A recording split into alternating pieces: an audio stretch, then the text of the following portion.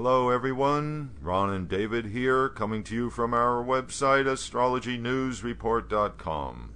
Now we look at the upcoming planetary patterns and predictions. What's in store in the heavens for August 17th to August 24th and beyond? Venus will be conjunct Jupiter exactly on Monday, August 18th.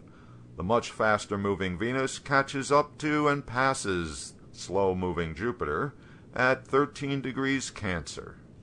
Planetary conjunctions are stronger when they are exact, but when the planets are right on top of each other, their energies have to fight for dominance. This is called Graha Yuddha in Vedic astrology, planetary war.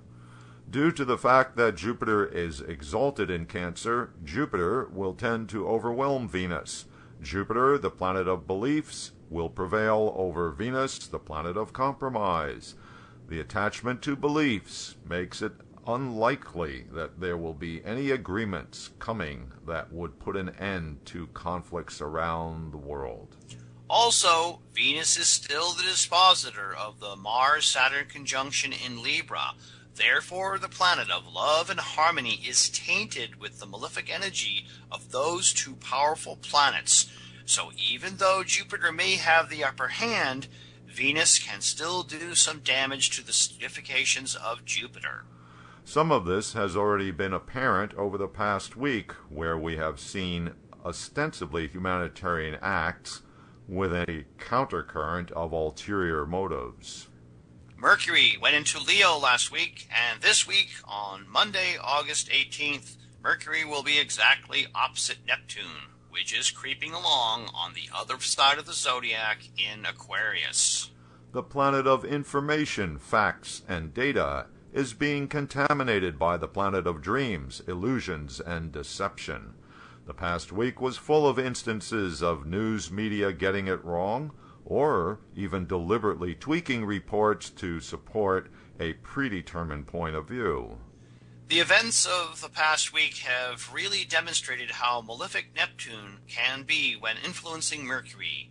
We depend on Mercury, the planet of facts, for making informed decisions. It is the planet of the discriminating intellect. But what happens when the facts are being held back or deliberately distorted? Hmm. Yeah.